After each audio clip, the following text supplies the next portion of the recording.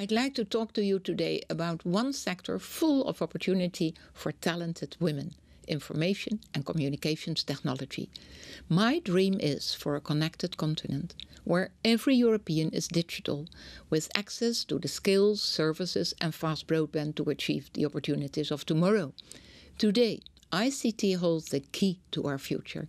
Innovations from cloud computing to connected cars, applications from tourism to television. Together, they promise to change our world. Preparing those digital skills is preparing for the future. So, training in the STEM disciplines, science, technology, engineering, and math matters for everyone. And Europe faces a huge demand for people with those talents. Yet, women are missing out. Fewer than one in five ICT sector entrepreneurs are women. Only 3% of women with a degree have it in ICT, compared to nearly 10% of men. And that's before you see the leaky pipeline.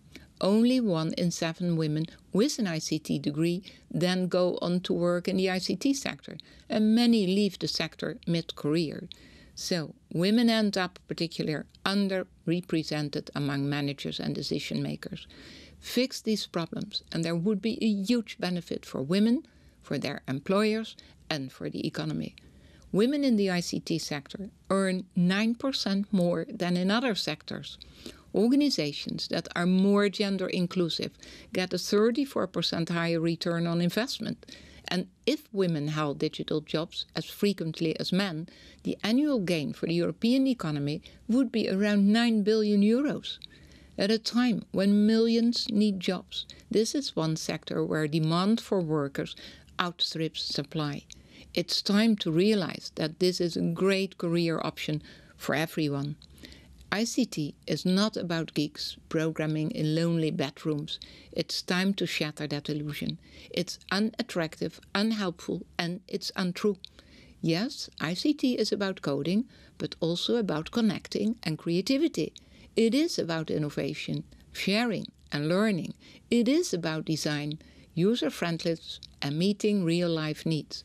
Women are huge users of ICT.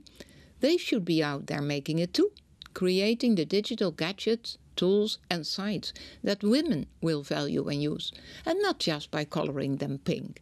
Then we have a virtuous circle. More women designing the tools that other women want to use, and vice versa. There are so many role models out there who can inspire our female tech talent, starting from the world's first computer programmer, Ada Lovelace, and moving on to Facebook, Sheryl Sandberg, or the UK's digital champion, Martha-Lane Fox.